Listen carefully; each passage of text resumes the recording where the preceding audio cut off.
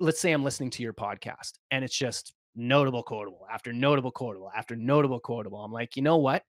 As I'm listening to this podcast, I'm limiting myself to four. That is it. So then once those four are done, every other piece of content that you say that really triggers something in, in me and inspires me, I now have to compare it against one of the other four to see which one I'm going to ditch because I've maxed myself. I've made my overwhelm limit 4 mm-hmm. Wits and Weights community, welcome to another episode of the Wits and Weights podcast. We have back on the show for a record third time, Mr. Carl J. Berryman, host of the Inspired by Impact podcast and one of my closest brothers from another mother. Carl recently released a series of episodes about Men's Mental Health Month for November, covering everything from purpose to relationships to fitness and, and lots more. So, subscribe to his show to check those out. And in one of the shows, it was on November 16, titled What Are the Best Ways to Use Physical Fitness to Strengthen Your Mental Health? Carl had me on along with Paul Salter, and we discussed the very important concept of intentionality, of being intentional, deliberate, and directive with your actions after you hear something notable, helpful, inspirational, or profound in some way. What exactly are you, the listener? Yes, you, the listener, right now doing with all this content you consume? If you're an avid podcast listener, like I am, I've got dozens, if not hundreds, in my feed. Perhaps that you've you've been shows before, even Wits and Weights, which I'm grateful for. But then, are you integrating that information actively into your life, not just passively, and then moving on to the next episode or video or distraction? Today, we're going to help you out. Carl is a master at implementing information and is also a regular listener of this podcast. And he is going to give you concrete examples of how he used the takeaways from a few of our earlier episodes and took action. Carl's going to demonstrate a very effective method he calls the mental muscle up or MMU to give you the exact steps you can take to do this yourself. And all I ask is that you try it with this very episode. Carl, my brother, I'm always excited to have you back. Welcome, welcome back. I'm excited to be here as well. And I wanted to pick apart that uh, intro a little bit, but of course, you've just completely blown it out of the park. So thank you for that. And thank you for putting uh, just a tiny bit of pressure on me for the uh, for the MMU because I didn't realize I was signed up for a workout here. But actually, I yeah, we're, we're, all good. We're all good. I, am your coach in this process, man. You're not going to yep. get away from it. You, you know? are. You are. I love it. And, I love it who who also learns from you every day and and I'm really excited because you're you're running a challenge now in parallel with our uh, 21 day challenge. You're yeah. doing a 24 day challenge and I want to get into the drivers behind that and the the process and the steps. But before that as always let's go back to principles right? Okay. first principles. Why is it why should we care? Why is it important? Why is it necessary to be more than a passive consumer of content? You know and i ask that seriously because there are people who listen to content for entertainment, for mm-hmm. information, for learning, maybe a mix of all three. I mean, I have stuff in my feed that has nothing to do with fitness. It's, you know, science fiction or news or just entertainment stories or true crime. Mm-hmm. Why is it important to be a, an active uh, consumer? Great question. I'm going to play both sides of the fence. Number one, it's not if your goal is not expansion. If your goal isn't to get better, then it's not important at all. Like listen to like there's sometimes say for example when I'm when I go in the sauna, I don't like like after every one of my workouts, I don't like taking notes on the stuff that I'm listening. So too, so that's when I'll listen to like a modern wisdom podcast, right? Because I'm I can while there's a lot of good takeaways there, I'm not going to apply anything specifically to the MMU unless something really jumps out at me. In that case, like one thing that I've learned over the years is that the good shit sticks. So I'll remember it anyways, or I'll just quickly take a timestamp. But I, I, I consume that more so for relaxing purposes.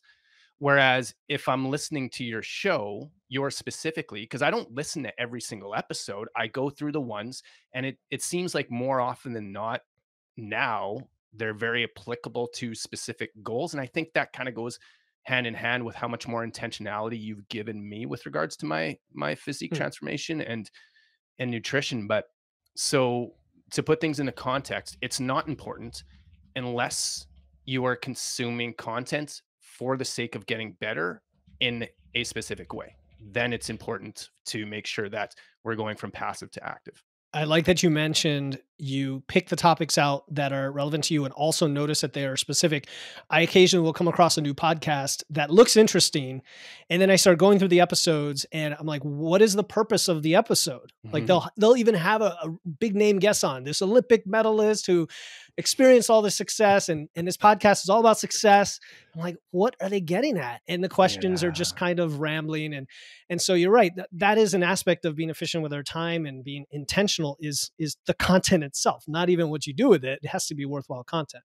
Right. And yeah. Uh, so the thing, the analogy that just came up there is like you and I, I know you phrase it in terms of going from exercise to training. And I like to think of it in terms of going from working out to training. Mm-hmm. And this just, to me, I look at podcasting or sorry, consuming content no differently. Like when I go into the gym, the next time I go in the gym, I just have to look at my journal to see what I did last time, if for whatever reason I forget, which I won't. But just to confirm, okay, what is today? Okay, today's legs. Okay, so what am I doing for legs? Okay, well, today is leg day one because I have it in a two day option now. So I know I'm doing squats, deads, and ham curls. Like those are the three exercises I'm doing. I'm, I'm not guessing. I'm going in specifically to do those things to accomplish a specific target. So when I'm consuming content, relative to old Carl, who would just, I'd be the guy who essentially mentally went to the gym and just got on as many machines as I possibly hmm. could and pounded out as many reps as I possibly could without really thinking about, okay, is this actually taking me where I want to go? Like that, it doesn't make any sense for me, anyways. And the reason why it didn't make any sense because I noticed finally when I had a hardcore wake up call that all the time I was putting into the gym wasn't doing anything. And then when I found when I looked at that, I was like, all this time and literally tens of thousands of dollars I'm investing in coaching and programs and communities. Like my life hasn't changed. And yet, had you asked me throughout, I've been, oh yeah, man, I got this great idea. This is so good. I'm gonna do it. And it's like, no, no, yeah. what you're doing isn't working. Like, when are you gonna stop and wake the fuck up? Like, Anyway. Oh, that, oh, that you know, that's like so many workshops and seminars and guru like speeches you go to, and you're all fired yeah. up. Yeah. You might even get some material, and then it just goes on the shelf, and you're done. And yep. two days later, it's back to normal. Yeah. Um, okay, so you're talking about intentionality. I want to I want to address again how. Okay, let, let me give you my personal experience. I I've got a lot of podcasts in my feed, and I try to whittle them out, you know, when they aren't relevant mm-hmm. anymore. But I do notice that some shows will build up and others immediately when the episode comes out, I want to watch, I want to listen to it. Right. Okay. And that's that's a form of intentionality, in my opinion, right? Where I know yeah. that there are things that are uh, serving me, but it's not as rigorous as what I'm hearing from you, which I'd be curious about. How do you curate what you listen to and when you listen to it without it becoming, you know, some people might say, well, I'm not going to have a calendar for like what podcast, podcast right. to listen to when. How do you do that? Another awesome question, Philip. Thanks for that. That's what we're here for, man. Exactly. Awesome exactly. questions and mediocre answers. Okay. no, um, come on, um, man. so, so how do I curate it? There's a couple different ways. So, specifically when I'm doing my mental muscle ups, like in the morning, that journaling experience, I have to make sure for me that I'm not just spending every single morning focused on purpose because purpose is the mm. one thing that I can't stop ever thinking about. I just can't. Like the mm. podcast, the the training manual, everything like that, right? So because when I was younger, I hated doing legs at the gym. But I don't want to be one of those guys who's got a jacked upper body and just these ridiculous chicken legs. Like you have to train mm. every single muscle group. You have to. So that's how I develop intentionality in terms of I'll go back in my journal and I'll just look at, oh man, you haven't done, ironically enough, physical health and fitness is the one that gets skipped the most for me. And I say that because my physical health and fitness is probably the aspect that I'm least concerned with at this point in time because of your help and my intentionality, I've gotten myself to a point where I'm content but not satisfied because yep. I, I I definitely want to achieve more. Yet at the same time, if I have to allocate my time, which is limited, to other areas of the prep work, say, for example, relationships or my mental and emotional health and fitness, those are going to take a priority. So, okay. really, it boils down to what haven't I been training or where does it hurt the most? Okay, I, I, like that because you, in your training manual, which I'm showing on the video here for YouTube, this is the Brotherhood Bootcamp training manual. You've got the prep work, as you call it, the P R E P, right? Purpose, relationships, emotional, and physical. Yeah. And you're saying that you you can choose on any given day which one you're going to focus on, and sometimes you just don't focus on something for a while. Yeah. And maybe you need, maybe you need or want to. You also mentioned though sometimes you do that intentionally because it doesn't need that right now. There's all these things to balance. You only have so much time in the day. You kind of go between them and maybe one can uplift the other when, you know, when you focus on Mm-hmm. it, right? So people listening, like Carl's really good with the analogy of taking the gym and applying it to life. Like he said, the chicken legs versus the strong upper body, which is like the opposite for women, right? It's big legs. Yeah, yeah, that's body. right. That's right. So all of this aspect of intentionality is really important, and you're wondering why why the hell do I have Carl in here to talk about this on a fitness show? Besides, you know, he's he's he's one of the best dudes in my life, and, and you, you're to learn a lot from him. Is when you're listening to this show, I put out two episodes a week and two short episodes a week, and if you're listening to every single one of those, that's a lot of time commitment, and I thank you for mm-hmm. that. But I want you to take action with that, right? And so I want to understand, Carl, your now let's drill down a little bit more with your focus on integrating lessons from podcasts in your life. What Okay. are the steps that somebody can take without being overwhelmed right now? Okay, so really, really quickly, inside the gym again, I really like to, as I'm teaching classes or working with clients, I really like to use the scale of level one, two, three. And so level one is take it nice and easy. Level two is dial up when you can, dial back when you need. And level three is give it everything you got. So as it relates to, sorry, r- remind me of the question so I can make sure I dial this in right. The question is when you are listening to podcasts, how do you take the next step from Okay. that to action? Okay, excellent. So when I first started, like the the training manual that you're holding in your hands, that is the level 3 as far as I'm concerned. Like those 5 questions are level 3. So it might be a little bit intense for everybody cuz or not everybody, for some people cuz it requires a lot of introspection and if you're not used to introspection, it's going to be a bit much. It's like putting too much weight on the bar. So the first level is just kind of contemplation. So you hear something and man, like just kind of sit there with it for a minute. Like you don't have to do anything, just let it sink in. Because eventually, what I've found, and I'm sure a lot of people can relate to this, is it's going to come back in some way, shape, or form. And there will be something that happens in your life where you can apply what you were contemplating on. Um, but I don't really want to leave it to chance like that. So level two. Hold, hold on, let's address that though. The contemplation when you says it when you say it comes back, do you mean because you're continuing to consume content that the theme reemerges because it's relevant to you, or Ah, something else? Yeah. No, something else. I'm glad you asked for Okay. clarification on that. So, for example, I can't think of a specific. no, I can think of a specific example. So, day one of our challenge, like the 24 before 2024 challenge, was all about values, right? So, this morning when I'm going for a walk, I actually, it was something that happened later in the day. I was on Instagram and I saw Chris Williamson from the Modern Wisdom podcast post a post that he got 1.5 million subscribers.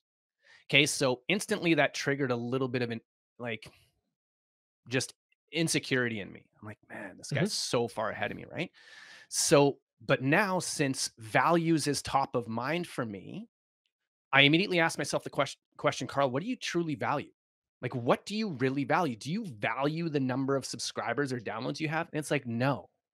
What I truly value is the connection I have with the people that I love the most. And the video you sent me today, and then Alan sent, and then Dennis texted me as well. Like, that's what I value.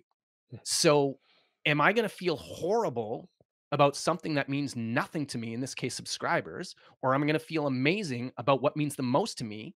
And that's connection with the guys in my life. So, that's what I mean by if if you're just contemplating something, now you're kind of putting it into, into your RAS so that you can start keeping an eye open for it a Okay. little bit more. So that's Love it. that's Got it. level one. And then level two, which is what we're doing in the challenge right now for part of it, is just answering a question that's relevant to what you're consuming. So, for example, if I hear from your podcast, like the one with Mike Milner, what was that, 126? Oh, jeez. No, no, no, that was, One- no, it, no, it was 123. It was, one, it 123. was Yeah, 123 yeah. 123. so there were a lot of gems in there but the one that i that hit me the hardest that i did an mmu on was this idea of depositing trust money into your bank account, like self trust, right? Mhm. So now I'm asking myself the question how can I continuously make deposits into my self trust bank account? And then I'm literally writing it down and finding an action step that represents me putting those words that inspired me into action. So that's level two. So that's inspiration. Yes. Okay. Eh, level three, the difference between level three or level two and level three is the difference between exercise and training. So it it's all good to hear really, really good stuff and implement it right away, but that's like going to the gym without a plan. It's better than sitting on the couch, but it still might not get you anywhere. And even if it does, you're going to hit a plateau and you'll probably stay there. So, what really helped me go from level two to level three, in other words, exercise to training, was making sure that those steps I was taking were linked to a very specific outcome that I was wanting. So, for example, with you, the goal is to gain muscle, right? Like I want to add some muscle. So if I'm listening to your podcast and I'm like, oh man, that's a really good idea. I should start tracking my calories. Okay. Yeah, that's good and everything like that. And this is a really good example because you know better than anybody, I, I hated tracking calories and now I love it. The reason why I hated it before is because it wasn't linked up to a specific target. I Mm. knew I should do it. I knew there was benefits to it, but it wasn't linked up to something specific that I was measuring. And this is where I used to go wrong big time. I would have goals like I want to get bigger, I want to get stronger, I want to be in better shape. Those aren't goals. Like those are just words. Like wh- what is what does that even mean? Like what does that look like? So what do I want to look, feel and perform like? If I can define those to the point where I can measure them, now I'm going from exercising to training. Does that make sense? Makes perfect sense. So you you can either contemplate that's level one, right? And, Yep. and one of the things you talk about in your manual and on your show all the time is no level zeros. So at least doing something here is Yeah. bet way better than nothing. It's kind of Yeah. like going from from zero to eighty percent, then you go from eighty to ninety, and then ninety to hundred. Level two, answering the relevant question, getting inspired, putting it um, what you've heard into an ans- a question to yourself that you then answer, and then level three, linking that to specific outcomes that you are measuring. Right. And in your challenge, you're doing it kind of an escalating approach to get there for the brothers in that because people might feel overwhelmed doing it all on day one. Just like if I told you you need to train, you need to sleep, you need to eat, do this, this, this all on day one, forget that. I'm gonna go back Yeah. and do keto again. oh yeah, keto. Sorry, that that's the boogeyman for me. No, no, I get it. The boogeyman. I like that. I like that. The keto boogeyman. I like yeah, that. a yeah, lot. yeah. exact- It's the, the trigger. So, all right. So you gave a little example there from the episode 123 with Mike Milner. I don't know if you want to dive into more of that or another example that's specific to this show, so people listening can be like, "Oh, okay, that's how I can do it." Yeah, we'll, we'll do another. We'll do another one. And actually, I'm not gonna do. So I sent you the three this morning, but I'm gonna I'm gonna skip the one, or I'm gonna call an audible on the one from your episode 100. Do you happen to have that handy? What the quote was that I got from you there? I don't remember it offhand. If you don't, I can. Wait a minute, you sent me quick. that this morning. What's okay? I got a bunch Okay, which means I can pull it up right away. Give me two seconds. Yeah, yeah, go for it. Is it the one with all the photos? Um, Yes, it is. So, okay, Yeah, so I got it right okay. here. okay. Okay, so this is what Philip said in episode 100. He said, quote, skepticism is not just questioning everything that comes at you, it's questioning everything that comes from you. End quote. And I remember specifically when I was in the gym listening to that, I had to stop what I was doing. Like, oh, that was gut wrenching. Like it was a gut wrenching aha moment. So I'll I'll just, you know what? yeah, I'm going to call an audible on this one and pull it through the MMU. So the situation that so the first question in the in the MMU is what is your situation? And essentially think of that like you're determining what you're going to be training inside the gym. Like what is what is the outcome that you're kind of going towards? So you, you define what the situation is. So if you're going to the gym, oh, I want to increase my bench by 20 pounds. Okay, well, that's the situation. In this case, I'm realizing that I have some stories and some beliefs when it comes to my physique that probably aren't serving me. So, what are those beliefs? And how do I change them to ones that are serving me? So, that's what I would put as the situation. So, so let's let's break that down real quick. So you took a quote that I said, and by the way, this is really cool that you could talk to the person who said the quote, right? Because yeah, sometimes the things I will say on a podcast, and I'm sure you've seen this the same, they just come out. It's not like Yep. some profound thing, Yep. and and it hits somebody else. And I'm not gonna I'm not going to diminish that at all. I'm not gonna say, oh, you know, that's I didn't mean anything by it when Right. you took something from that. That's that's awesome. So the skeptic, skepticism not at you, but from you. You heard that. That's your notable quotable, the, the phrase you use. Yeah. And you turn that into an interpretation for you of limiting beliefs, right? Yes. which is extremely uh, profound concept in in everything we do to Yeah. improve. And then you said, okay, that that's the beginning of my inspiration, right? Yeah. Right. So that's like that's where you then link it back to the situation. And side note here, when I do you can look at it a couple different ways. It's like if you go to the gym and it's leg day and you normally like say for me it'd be squats, deads, and then leg curl, right? Well, let's say all the squat racks are taken and for whatever reason there's no Olympic bars. Well, I don't want to do leg curls first for sure because like that's definitely going to limit my squats and my deads. But at the same time, I don't want to wait half an hour to start my workout. So unfortunately, I'm going to have to go there. So there's flexibility in the way that you do the exercises. Uh, same thing with this. In the mornings, I always start off with the situation because I want to. I'm lucky that I have access to hundreds of quotes that I've gotten in Hmm. my podcast that I have readily available on my phone. So I know who the author is. And it's like, okay, so today, if I'm working on physical health and fitness, I'll just go to all the Philip Pape quotes that I have, and I'm going to pick one that is relevant to whatever I've defined the situation to be. And so then, but if you get your notable quotable first, chances are it hit you for a reason. And that reason is something that you can probably put in the form of a question that is a challenge that you are facing.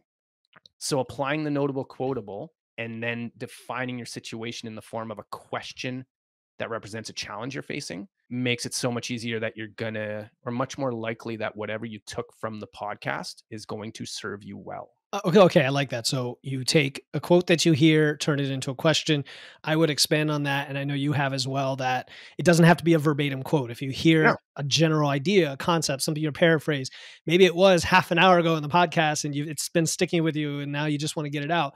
You don't Yep. necessarily have to find the timestamp. We want to make this easy for for p- people to get what you want out of it, and and and there you go. Okay. Yeah. Yeah.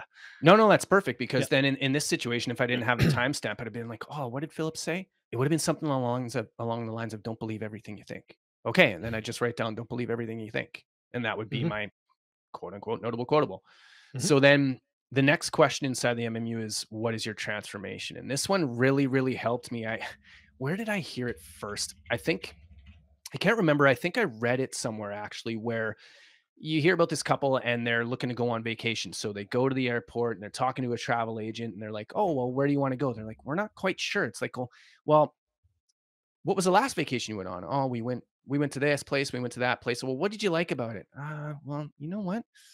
I'm not really sure." But then so he, he's had enough of this like just going around and around. So he says, "What didn't you like about the vacation?" "Oh, man, the food wasn't really that good. Oh, the hotel wasn't all that clean." And people can just rattle off what they didn't like about it, right? So It's he's like, true. okay. So now he makes a list. He has a list of all the things that they don't want. So it's like, okay, so then a vacation that you would be looking for would be one that has great food, one that has uh pool ser- one that has whatever it is they listed, right? So he just lists off like five things. So I found that for me, what really helps to get me clear about what I do want is to first list out what I don't want. Which is why the what is your transformation? You list four things that you don't want versus four things that you do want. So in this case, this case, if I'm looking to be a skeptic for myself, and keep in mind I'm just doing this impromptu, if I'm looking to be a skeptic of my own beliefs, what I want to make sure is that I'm not letting my limiting beliefs guide my behavior. So, what I would want on the opposite of that is I want empowering beliefs to guide my mm. behavior. And then I would keep going down the list, just saying the opposite of what I don't want to get very clear about what I do want, because now it's going to be dialed into what I want at the end of the day, right? Yeah, that- it makes a lot of sense the way you explained it. Where because of psychology, we love to criticize, we love to say what we don't like. You know, if everything goes well, we tend to be it, it's it's like going to Amazon looking at a product. You're going to see the one star reviews and the five star reviews. The five star reviews are probably all bought, bought for, and the one star yeah, reviews right. are the, all the honest reviews, and nobody reviews them in between, right? So, and that just for listeners, right? Again, in your training manual, it that is the next section. What is your transformation? And, and it is just four lines that say don't versus do. And what Carl just said is if if you can't think of what you want to do, think of what you don't like, mm-hmm. and then turn it into the opposite of of what can serve you. Awesome. Yeah. And as okay. it, so as it relates to our physical body, right? Like for me, if I say, you know what, I don't want my arms to be small. I don't want to have a flat chest. I don't want to not be able to see my six pack. Okay, well, what do I want? I want jacked arms. I want a full chest. I want a ripped six pack. Like it's just, it comes so much quicker if you're stumbling upon the things that you do want if you first list the things that you don't want. So, anyways, not to beat that. Cool. No, and I'm and and Carl probably notices me looking down a lot, but again, I'm just admiring his uh, his training manual as we go through bad, this. Eh? Like the no, it's great. Like it's great. cover it's, feels. I like the way the cover yeah, feels. no, it's nice. it's it's but it's structured. You know, it's like yeah. you've got it all listed in here, and the whole first like 30 pages explain this whole process. Um, and give you a bunch of examples. So, all right, so that's the transformation. You've got your situation, your notable quotable, your transformation, and then what's next? The next one is what is your inspiration? And what I found with this one, and this actually ties back to what you said, because what you said is that sometimes you say things on your podcast that become aha moments for somebody else that weren't necessarily what you meant. So what I found for me is that the the fourth question, what is your inspiration, allows you to make this really personal and customized to you. So it's where you're essentially what I do is right before I'm about to write out what is my inspiration, I go back and I just really quickly review okay, what was the situation? What's the notable quotable? And what's the things that I don't do want? And then I'm trying really to come up with an answer for what is the situation. And I'm just kind of word vomiting on the page to let my own inner wisdom come through. Like, what does this mean to me? It might be a place where I let out some more frustrations about the way that, in this case, the way that my limiting beliefs have been holding me back, why I need to let them go, how it's not serving me. So, this is kind of a free for all but mm-hmm. it's where you you kind of bring everything together and put it into context before the final and what I would say is the most important step. So that makes sense. So you've taken this these pieces, you're now putting them together in free form. It it kind of reminds me of the cl- classic like journal. I know I know we don't necessarily want to use the word, but that's no, what no, it that's looks fine. like to me is is kind of putting it together, which is nice because then you get you get the brain dump away from the all the initial information you wrote down you're you're synthesizing it right yeah. it's kind of like when you have all your notes Great and you word. need to write a paper or do a podcast now you're synthesizing it together and then what comes after that so before what comes after that though i just yeah. to give an example sure. I, I want to demo yeah, what oh, i please. wrote down for please. this one specifically in today's mm-hmm. mmu so what is your inspiration i put what if i'm completely wrong i love and hate this question because at first glance who wants to be wrong yet isn't being wrong typically the first step to being right so, what do I want to be right about as it relates to my body? And what does right look and feel like both tangibly and intangibly? So now I'm just, I'm really just asking myself more questions to help me get clear on the next step, which is what is your integration?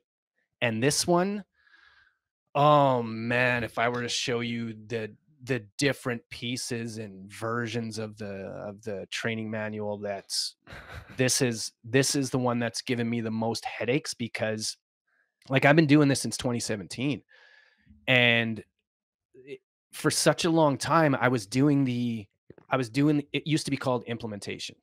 I was doing the implementation, implementation, implementation, but nothing was really changing and there would be times where I didn't do what I was supposed to do and I wouldn't realize it until the next morning. And I opened up the training manual. I was like, oh man, yeah, that's right. I was supposed to do this.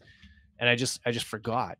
So there's five extremely critical steps there because the question, what is your integration? The whole, the whole idea behind that is to get you to take one small, specific, and simple action in the next 24 hours, whatever that is. So the first three of those five little check like literally check boxes in the training manual that you want to check off to make sure you're doing the right thing. There you go.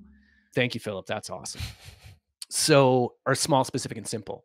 But then I added two that made a huge difference. Number one was scheduled. So I had to like literally set an alarm in my phone to remind me when I was going to take the action that I come up with.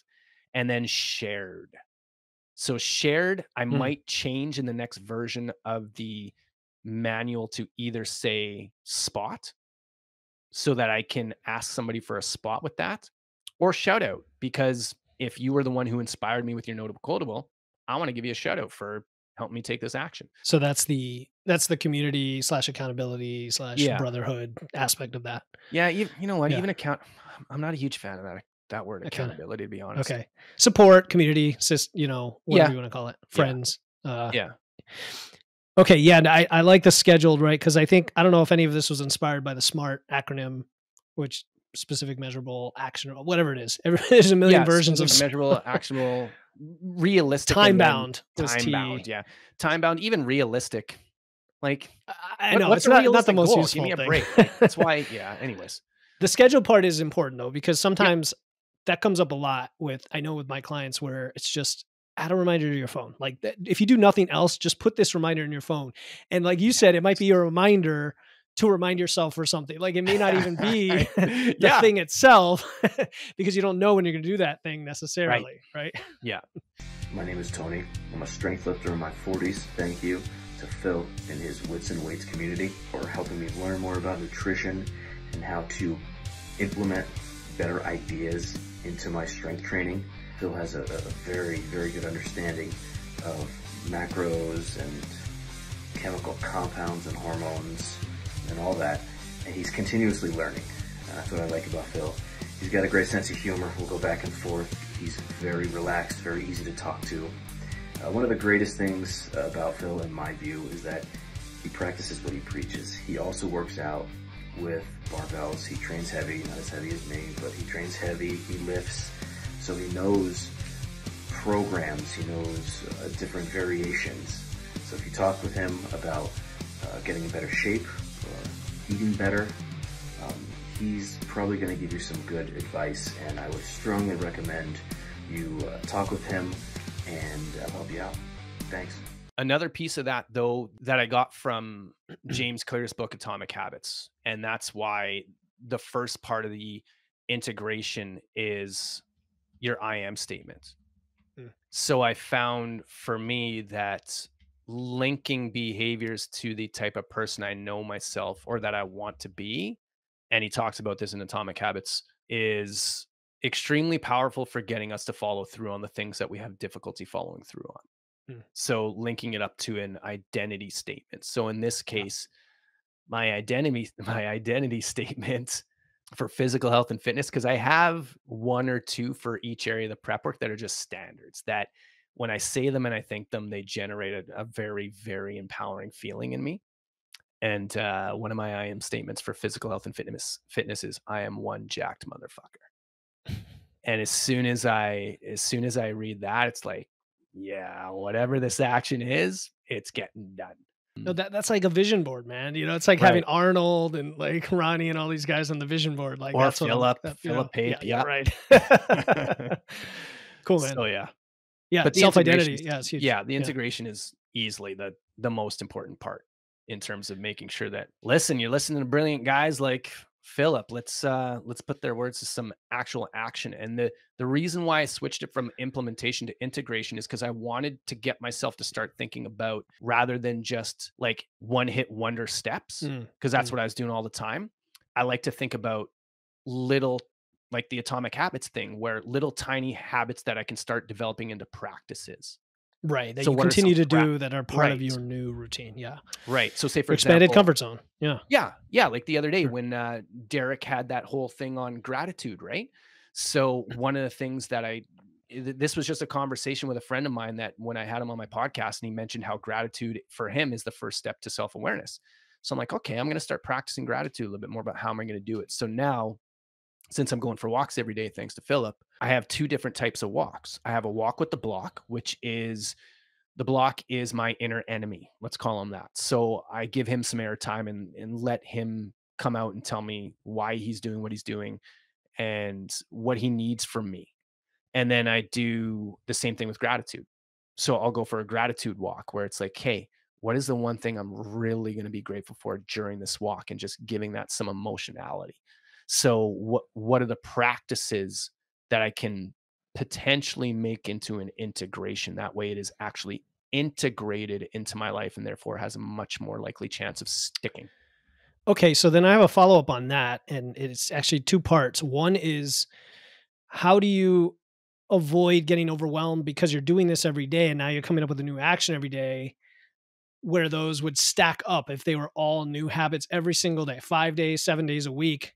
You're starting something new, and you could you could just imagine these layering on top of each other as this overwhelming set of things you're doing. If they're not one hit wonders, Mhm. that's that's one. And then the other piece is how do you close the loop? You know, you've written it down. How do you hold yourself? I guess I will use the word accountable, but it's self accountability to that. Okay, are you going to remember both those questions? Because I won't. Yes, I will. Okay. I'm sorry. That's like Oh, no, that's like uh, what media does, right? To the politicians up on the dais.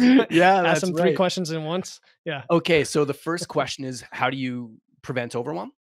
Yeah. How do you prevent overwhelm? Okay, so let's say in the gym right now, like there there are so many different principles that I could be using during my workouts, right? Like I could be supersetting, I could be doing five by fives, I could be doing German volume training, I could be doing uh, long range partials, which I am right now. Um, what I'm gonna do is I'm gonna pick one, and then I really have to decide, okay, how long am I gonna test this for? Because I don't know if it's gonna work, but I want to test it if I'm coming upon new stuff all the time, I then have to compare it to say, okay, number one, have I given my previous thing enough time to actually see if this works? If the answer is no, then I just discard it.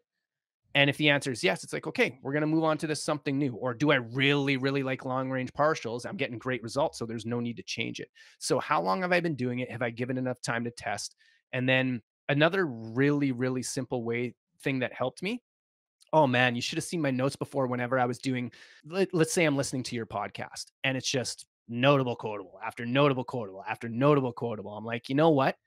As I'm listening to this podcast, I'm limiting myself to four. That is it. So then once those four are done, every other piece of content that you say that really triggers something in, in me and inspires me, I now have to compare it against one of the other four to see which one I'm going to ditch because I've maxed myself. I've made my overwhelm limit 4 Mhm. Which means if anything else comes after the four, it's either replacing one of the four or it's not making it to the list.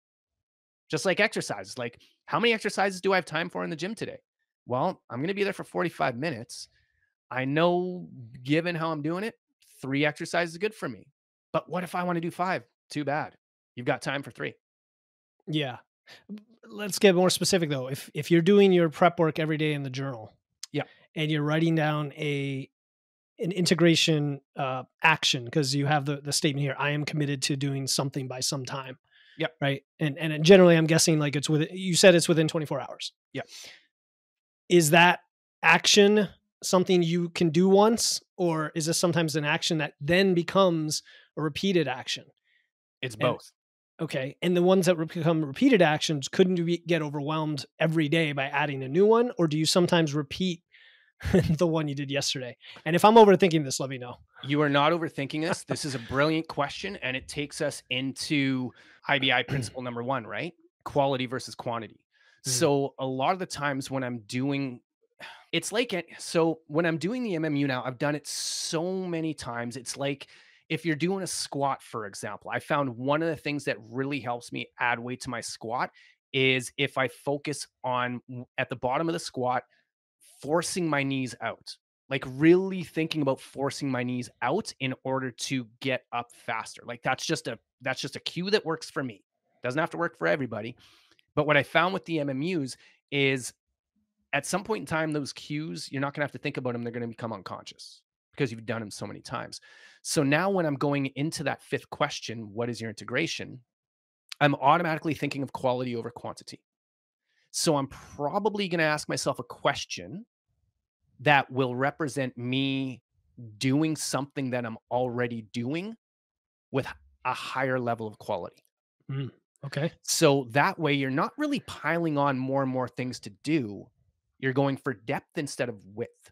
I like it. Okay. Yeah. That, that's actually a really good answer. And, mm, you know, I might, I might throw that in our uh, group later as Ah. like inspiration, right? As a notable Oh, quotable okay. from today. okay, I like it. I like it. okay. That's my action. and then the second question, what was it again? the self accountability. So now you have that. The next day comes Oh. along. what if you didn't do it? Like there's a chance you didn't do it. So Yeah, that, is- that happens. yeah. Yep. Oh, okay. So there, there's a couple things that happen there. Number one is I scheduled it. So in my phone, I have a standard alarm that just says MMU. And then I change it to whatever time I've designated during my morning routine that that is going to be the time that I do my MMU. But sometimes stuff comes up and I can't get to it. So there's a couple different options that I do. Number three, if you think about it. Uh, number one, well, if I didn't do it, maybe it wasn't important enough to be done. Hmm. So then I'm I'm really going to evaluate if I needed to do it. Uh, maybe I just got lazy. Maybe maybe I got busy. So now it's like, okay, well, do I need to put this on top of the thing that I uh, that I'm planning on doing today? So again, now it's like going back to that thing of where I have four notes, but now it's really Mhm. 2 So, but what I usually do is most of the things that I come up with in terms of integration steps don't take very long at all. And they're things that I can do in really a few minutes. So, what I do is every morning I go to my previous pages, and I don't have this in your current training manual, but at the top where it says PREP, I'm rating myself out of three in every area of the prep work to give myself a daily score. Okay. So then I do that before I start a new MMU. So then if I'm going back and it's like, ah, I didn't do that thing for physical health. Now it's like, mm, did it need to be done? No. Okay, we'll move on. Yes, it needed to be done. So say for example, your latest, not your latest episode, but episode 126, where you talked about the importance of carbs and making sure that I'm not going to like I'm not ripping down my muscle and using it as fuel, mm-hmm. essentially. That's an important one for me. So if I didn't do yesterday's MMU and today's MMU was based on that from your podcast, guess what? Yesterday's it's gone. I'm forgetting about it because focusing on my carbs, which is essentially what I did this morning, really long story short with that MMU, I realized I'm not like in MacroFactor, I'm hitting my calories, I'm hitting my protein, I'm hitting my fat, but I'm not hitting carbs. Mhm. And I've noticed that it's really affecting my energy throughout the day. So what I came up with, long story short, for the integration is going into MacroFactor today in advance, making sure that my day hits my my uh, carb targets, and then at the end of the day, and I set alarm for this, is I'm going to give myself a rating for my energy as it relates to my carbs. So I'm going to Nice. write down what was your energy out of three? Well, it was level three in the evening. Okay, well, what was your carb count? Well, your carb was 367, and that's what it's supposed to be. Okay, awesome. So now over a couple weeks' time, I'm going to be able to see does the does the amount of carbs that I have actually affect my energy in the evening? Because that's what I want to know. So I'm going to do that for a couple weeks. Everyone listening should do that. no, I'm Okay, just and- well, well, and it's it's a really But good. you see uh, this yeah. integration step technique, how yeah. much ti how much time does it take Yeah. me to write down my energy level and compare it to my carbs like that's Right. 30 seconds so a lot of these steps sure there could be a lot of them but they all take like 15 30 seconds and some of No, them are and that's- automatic and that's that's actually part of the answer right there is just keep them short and simple because Yeah. you are going to get overwhelmed if it's like make a list of a hundred blah blah blah and then do this and do this and do that uh, it's funny because i i i'm a little bit well i'm organized in a different way but like i will keep emails unread in my inbox i have a very small inbox I, i'm a zero inbox type of person i like to just take care of things or file them away if it's just information or leave Mhm. them unread if i'm going to get them done but the, Right. the, the lower they get on the list that i realize they're- must not be that important and eventually it's like shh, they go delete you know? Yeah, yeah so it's the way. same kind of thing you just never know in the because in the moment you're all excited you're like yeah, Yeah. i got to do this thing and then you really you know time is uh, an interesting moderator I do Um, that with a lot of your text messages. Actually, I'll read them and I'm like, "This isn't important." I'll make it unread, and then I just completely delete you altogether. Um, so go. oh, that explains it. explains a few things. No. All right. So if if I haven't lost the audience with getting too much technical about this, hopefully not. I think it's a pretty cool approach, no matter what. Like whether you have Carl's journal, the principles are you know time tested and and you've referenced things that you've borrowed from right? Like atomic habits and behavioral psychology and all this stuff. You know carl's the man to reach out to if you have questions about this. I want to get into some follow-ups on this outside of the specific application. For example doing this process is there something that has really surprised you you know over the years Mm, after listening and then going through this process? Great question, and it already makes me think that I can't believe I haven't thought of an answer in advance to what your last question is going to be. But yeah, the th- the thing that surprised me and this may sound like it's not going to sound like a broken record to your audience but it sounds like a broken record to me one of the reasons i first started doing this journaling process if you will was because when i hit rock bottom back at the end of 2020 beginning 2021 i really wanted to evaluate and figure out what the lead domino in my life was as it related to the prep work so is it my physical health and fitness? Is it my emotional health and fitness? My sense of purpose? Like, what is it that if I take care of it, it's going to take care of everything else? And it made sense to me that it was my emotional health and fitness because I'm like, man, if I can, if I can become the master of rather than the slave of my emotions, and despite how I feel I can take the actions that I know I need to take, that to me is like the lead domino. So I followed that for a long time and nothing changed. In fact, it got worse because I was putting so much pressure on myself. Hmm. So then I just asked myself that again, at that point in time, I was being skeptical of my own beliefs. So I was saying, okay, Carl, what is the thing? I kind of pulled a George Costanza in that I did the opposite. So if you don't know who George Costanza is and what the opposite is, then just stop listening if you're not into Seinfeld because I don't want to talk to you. Anyways, so relationships was the bottom of the prep work for me, like the bottom. Hence why Jenny Lee and I had our three month separation and just, yeah. I had you asked me if our relationships were important to me, I've been like, yeah, they are. But if you look at my actions, they're not because I'm canceling on friends. Mm. I'm not returning messages. I'm not returning calls. I'm not spending time with Jenny Lee.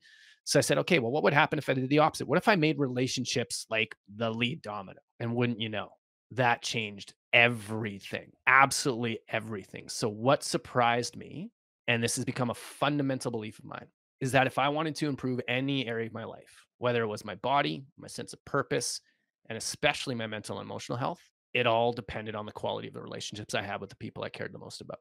I was not expecting that. And that has carried forward into your mission today. I mean, it it, it yeah. shines in everything you do. Is connecting, connecting people to each other and connecting yeah. with them. So if someone listening feels like they are struggling and they're like, well, I like your idea, but I'm overwhelmed and I'm not sure where to start. And maybe it's mental health, maybe it's something else. Like you said, emotion sounded like the obvious root cause because it was tied into mental health, but something yeah. else was holding it back, even if you had quote unquote leveled up your emotion as best you could. How can someone figure that out? Well, to me, it's like I didn't figure out with the squat that my knee, that if I focus on my doing my knees out until I'm going to say this was within the last 18 months. And I've been a personal trainer for 12 years. So it's going to be a matter of taking and testing, taking and testing, taking and testing. So consuming something that works or that you think is going to work and testing it out. The hard part is you got to figure out, okay, how long do I need to give this before it's like a diet, right? So if people are going to try, say, for example, shred tober, okay, well, if people are going to do that you got to stick with it for the two weeks to see if it actually works. You can't you can't do shred tober for a week and you can't do it for six weeks. You got to do it for the specified amount of time. So you got to figure, okay, well, if I think this is really going to help me, what's a realistic amount of time that I need to give this to see if it actually works? And more importantly, this is one of the questions. It's called the miracle questions from the book Switch, which is a phenomenal book on habits miracle question that uh, therapists would use with their clients. Say, for example, if they're an addict and or an alcoholic, say, okay, you w- you wake up tomorrow and your problem is hundred percent gone, and you're like you're you're just a new person. What would be the first sign that you know it's gone? So when it comes to our goals and changing them from goals to targets, if we can get clear about what the first sign is that what we're doing is working, then we'll be able to really tell if we know what we're doing is working. So, for mm. example, like I've got a client who I had a conversation with him the other day about MacroFactor. He went in and he changed his goals to weight loss because the scale wasn't going down. And we had a very interesting conversation. So he changed it back. But I said, dude, like, what are you measuring? Like, what specifically are you measuring? He's like, well, I'm measuring my waist circumference and I'm measuring how my clothes fit. Like I I, I want to lose weight because and then I ask him why because I want my clothes to fit better. I want to feel stronger. I'm like, do your clothes fit better right now? Yeah, they're looser. Do you feel stronger right now? And do we have the numbers and the evidence to support that? Yes. So then why are you changing your fucking targets? Because he lost sight of what his targets actually were. Wow, that that's okay. I'm I'm processing this because I'm trying to think of what the you know people who are listening you just gave them a few different ways to approach this one one way sounds like first of all the prep work has has different areas right and if you can identify the different areas of your life at least spending time on all of them to some extent would help versus neglecting one completely Yep. right that that comes to mind and then the second thing is testing measuring and then going by the things that are improving that would have improved if you knew the problem was gone. So i had a, I had a client recently who long-term client and it's it's similar situation you said like she knew what to do and wasn't doing it and it was showing in the results right Mhm. and as soon as she for example started eating more whatever it was and the next day hey feeling great i was scared about regaining weight for example but i'm not anymore because i realized that what's more important is this other thing and i was you know way worse off with that and i'm, I'm not going into Mhm. details here but it's good carl okay so Hold on. There's, there's Yeah, one thing go I gotta it. add there that's Sure. really, really important. Yeah. We don't give ourselves enough credit when it comes to looking at our past experience. Hmm. For me, in terms of training, for example, I knew what I liked to do for training before I was as consistent as I am now, and I deviated from that.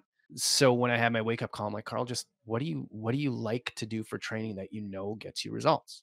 And so that's why I'm doing the style that I do now. If we can get quiet and reflect on a once upon a time when we were experiencing the opposite of that which we don't want to be experiencing right now and put the pieces of the puzzle together of what was different then as compared to now hence the second or the third question don't want versus do want it get it becomes pretty clear that you already know the answers so that's interesting that brings up the also the idea of if you are testing and measuring and taking action and things are not going as planned right? What what how you learn from that experience. I mean that that's that's what comes to mind to me as well because i'm sure you've done your prep work and you did some integration and it's not it's not giving you what you want. Right. Right? Yeah. just th- that to me this is where the 80-20 rule really applies. Yep. like i know my results are going to come from 20% of the work but typically speaking if i'm not getting results from the integration steps that i've been dedicating my time and energy to doing there's really about 20% of my excuses or reasons that are going to be why and one of them is going to be you haven't been doing it long enough plain and Mhm. simple. So, say for example, my podcast, right? Like, I don't have the quote unquote amount of followers and downloads that I want right now. And why is that? Oh, well, there's a million and one reasons, but the main reason that I am choosing to entertain, I just haven't been doing it. I haven't gotten in the reps yet. Mhm. I need to get in more reps. I am convinced because this is what so many successful people in front of me have told me is that you just need to get in more reps. So I am committed to getting in the reps. So if if, if ever anything's not working, it, it typically boils down to have I really given it a chance? true i mean we talk about consistency and it's become a, a buzzword Yeah. but really It should be replaced consistency with doesn't commitment. yeah commitment yeah right getting doing something for repeated basis over time not perfectly and not necessarily every day Yep. but continuously over time you know Yep. you can miss a podcast episode but you do the next 10 you're you're still golden as soon as you drop off that's that's where the the challenge comes in all right what one or two more things you got time a couple couple Of minutes course. Yeah, of course. Okay. You and I had a, I think it was a conversation over text not long ago about not being reactionary or conversely being reacting too quickly when you hear something on a podcast and be like, oh, that that that blows my mind. You know, it just opened my mind, it changed my mind, whatever. You probably know what I'm talking about, right? Almost like sometimes the what might be a notable quotable is really just a soundbite that just sounds great in the moment. Yeah. And then you and then and you're like, you want to take action on it, but maybe you shouldn't. maybe you should Yeah. step back and like just wait and sit with it. So what are your thoughts on that? It become okay. So I'm trying to think of who quoted this on my oh, podcast. or oh, if- it was actually. I, think I think the it awareness thing. Yeah, awareness or or was it the awareness and Either the way, first step is not awareness or whatever. I- No, yeah. I'll, I'll- I'll summarize it right Yeah. now. But Di talked about when you know your values, it gets really, it's very easy to say yes or no to things. If you know specifically what your targets are in a specific area, say, for example, your physique. Okay, well, I know what I'm eating today in MacroFactor already because it's programmed in there. And I've left some room because it's Friday. So I'm probably going to have a cocktail. So there's room in there for that. But if something comes up and I want to, Jenny Lee wants to go somewhere or something, it's like, ah, it's it's not part of the plan right now. Like it's not MacroFactor. We're going to do this. So when I'm crystal clear on what my macros are, it's easy for me to say, no, I can't have that. So what if instead of macros, whatever area of the prep work you're talking about, you are so crystal clear on the behaviors that are taking you to where you want to go that you do only those behaviors. So, say, for example, with my podcast, right? Like the podcast, I'm not going to say it's my life, but in, in a way, it kind of is. Like it kind of is. So, I know, actually, let me put it this way in my phone, I have an app called Done. It's a free app, it's a habit tracker. And inside of there, I've established what my big lifts are for each area of the prep work. So, what is my squat, my bench, and my dead for my purpose? What's my squat, my bench, and my dead for my relationships? I've got I have one thing for each area of the prep work, but I, I know what those three lifts are for me. So those are the things I'm focused on on a daily basis. I have to hit those things. If I get other things in, sure, that's fine, but I don't need to because I am crystal clear on what is most important. And the, the less clarity you have on what's most important, the like the more likely you are to do that which is not important. Okay, I get that. So what about the situation where you haven't been able to crystallize that yet because there is so there are so many angles and potential quote unquote facts and evidence and things and i'll give you, i'll be very concrete somebody one of my followers reached out by email and said you know i really trust your opinion but i'm here are 10 things that are all different and conflicting that I'm hearing from influencers and this doctor and this person and this person about all sorts of things, whatever, carbs and keto and this and that. Okay. And they all conflict. And it's like, you know, she felt that a lot of them were trustworthy sources and she's not sure which one to go with. And, and, and that's just an example. Like I gave her clarity. I gave her my strong opinion on, on which way to go. She's like, all right, cool. I'm good. But when people are just not sure from the from day one they haven't gotten to that point like i was for 20 years in the health and fitness space i just didn't know what to do how do you get that clarity right that's like the premise yeah okay so i'll address two things uh, the first one this is what i would say to carl okay so mm-hmm. i'm not necessarily going to say this to your listeners but i would be sharp and for me i would really appreciate it if somebody if i came to you and i was listing all these things I would really appreciate because I know myself well enough that this is what I'm doing. I'd appreciate if you said, Carl, why do you keep using this as a, as an excuse to not take action? Mm-hmm. Like, why are you so afraid to fail? Because I know if I'm const- if I'm skipping from one thing to the other, it's because I'm afraid of failure. If I'm if I'm making excuses and finding all these things as to now I know which one I don't want to do, it's because I'm just uncomfortable with uncertainty. So I would ask myself, Carl, when are you going to allow yourself to be okay with uncertainty? Because we don't know which one of this is going to work. Like Philip's a brilliant guy. We can take his advice. It might not work for you. But at some point in time, and that time is right fucking now, you're going to have to make a decision to take action. So ask yourself which one of these feels the best and then be okay if it doesn't work out. Like cool. That's good. Yeah, I agree. But then the, clar- the clarity yeah. piece of it, right? Well, well, wait, wait. So and like you said, if it doesn't work out. So all it really comes down to is take action on something, do it, test, see if it goes. If it doesn't, off the list, go to the next thing. Yeah, maybe like, right. I mean, I mean, granted, you know, you can get complicated and say like certain things are going to be more out there than others, and blah blah blah. But I, I, could tell when I when I got to 2020 and I started and I found like starting strength and muscle strength pyramids and all of that. And I'm like, oh, this this new way to lift for me. I also didn't know if it would work. But right. I'm like, it seems like it should based on what all these people are saying. And like, these are smart folks. I'm just going to do it. And it worked. And so I stuck with it. Anyway, continue.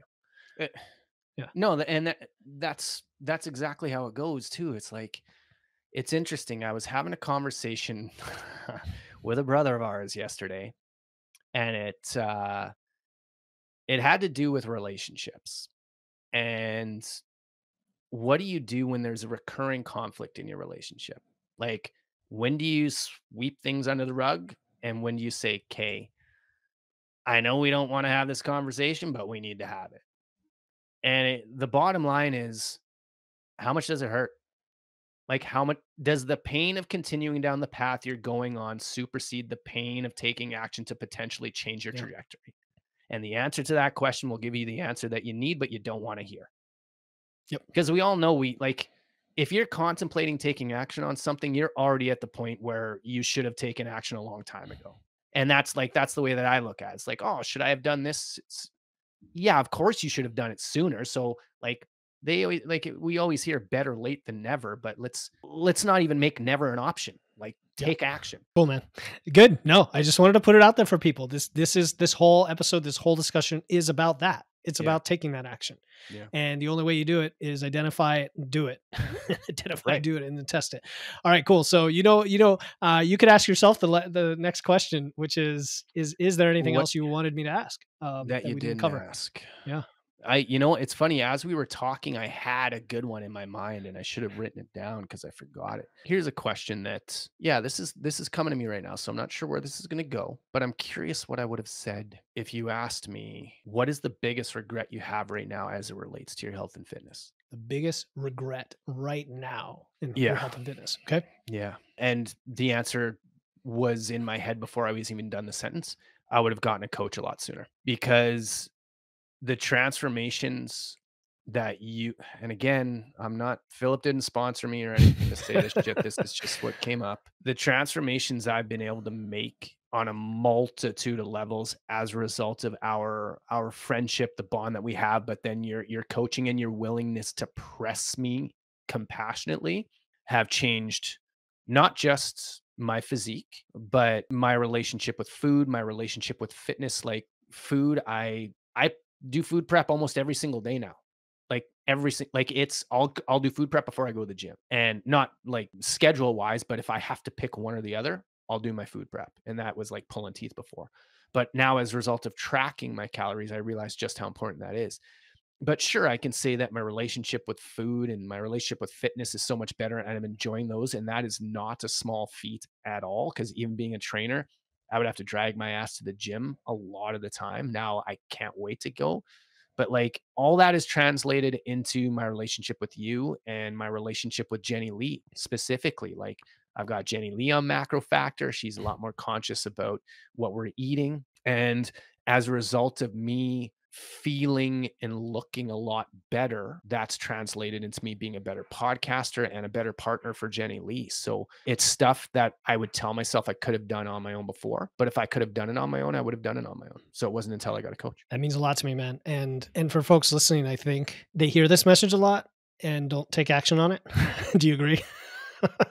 There's a lot of people well, like well, that. yeah because I, i'm i'm the same way like how long did it start me to take me to start doing the shit that you told me to do forever and a day ago and that i already knew i needed to do but then Yeah. also from from other areas of life as well like i i know and there's still places like i could have i could be investing way more in a in a business coach i could be investing way more yeah it, it would never hurt to have a relationship coach like JL and I are really good so i don't know if that would the cost benefit ratio would be there but yeah it, it, if you're constantly on a treadmill to nowhere and you don't have a coach, the coach is going to tell you to get your ass off the treadmill and let me show you the real way to walk. So, yeah. Yeah, it's true. And I think we can't deny that having other people of some kind in our life that are oh. supportive is kind of where it starts, right? And Yeah. that's what a coach is. That's what a brother is. That's what a, a friend, a really good friend who who isn't sabotaging you, right? Who is positive and, and with you on that is.